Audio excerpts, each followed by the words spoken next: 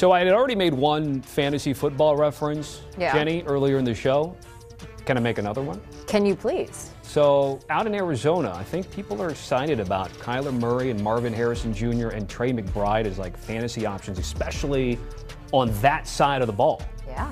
So we're not going to talk about McBride today, but you're seeing highlights here of what could be if Kyler Murray's healthy.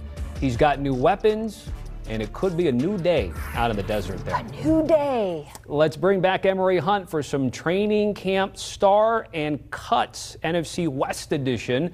Czar of the playbook, let's start with the Cardinals as we've led them there. Uh, your star, one of the two guys that we highlighted just now.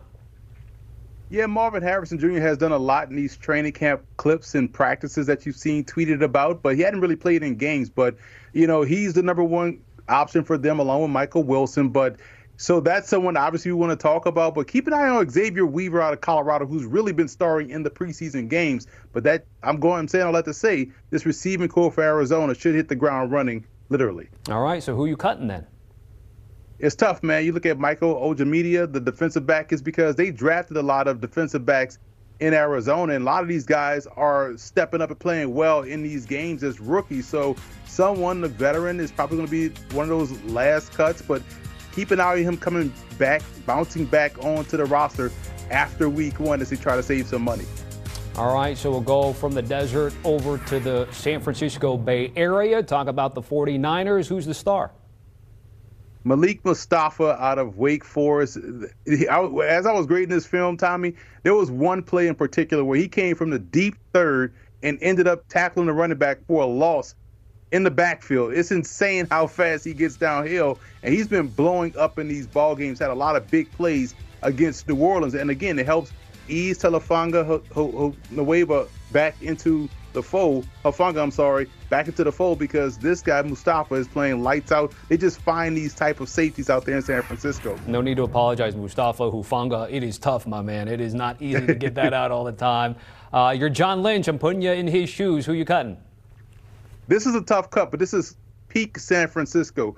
Cody Schrader, who we've talked to at the combine from Missouri, the SEC leading rusher.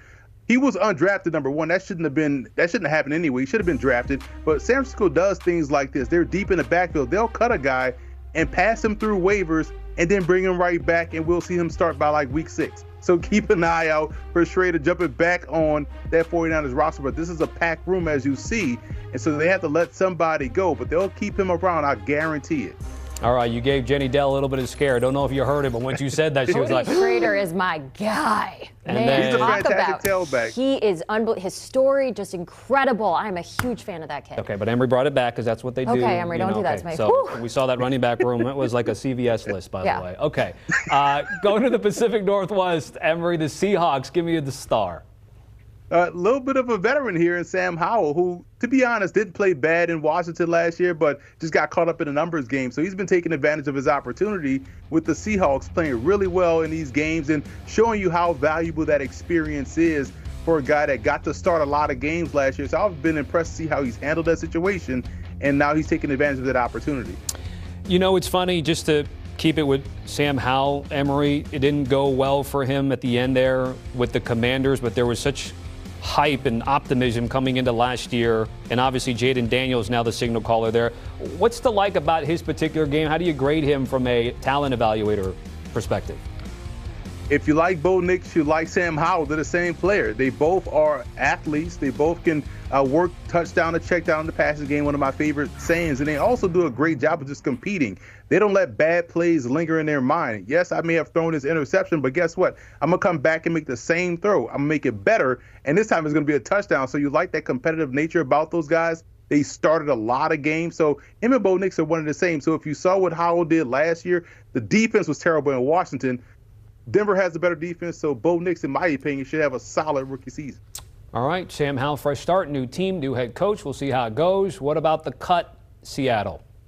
This is another one of those try to slide someone through the waiver wire. Sundiata Anderson out of Grambling. I saw him up close and personal at the East West Shrine Bowl, and this is someone that looks the part, off the bus look. 6'4, 245 pounds, tremendous edge, edge rusher. Fits the mold of what Mike Macdonald loved to draft out there in Baltimore. he's going to get caught in his numbers game, but they want to bring him back into the fold because he's super athletic and tremendous off the edge. And then let's go to the Rams. Jordan Whittington, your star, especially at wide receiver.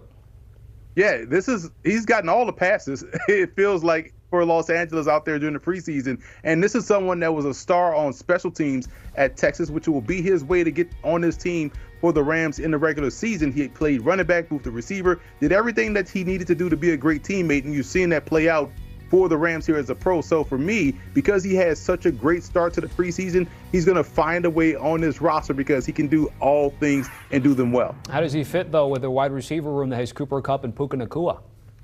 Special teams. He plays special teams. That's your ticket in. And once you get into that door, you you have to force him to put you out. And because he's thrived on special teams in college, he's used to playing on these coverage units. He can also return in the pinch, so he can do a lot of different things. And that's the way you try to make the roster as wide receiver five or six on these NFL depth charts. And then with this one, interesting enough, your first like for like star and cut. So you're cutting for LA another receiver because of what I just talked about, Tommy. Special teams and versatility, it will push a guy like Drake Stoops out of the door. Now, Stoops has played spring ball uh, earlier this spring for his dad in the Arlington Renegades in the UFL, so it's not like he won't be without of a job. Uh, but this is someone because he doesn't play special teams and because he hadn't gotten the opportunities to star like Winnington has, that's why he gets pushed out as a, a bubble cut because of those things that I just listed earlier. Appreciate you as always. No more mini heart attacks to Jenny, okay? Sorry, Jenny. Don't do that to me, man. Don't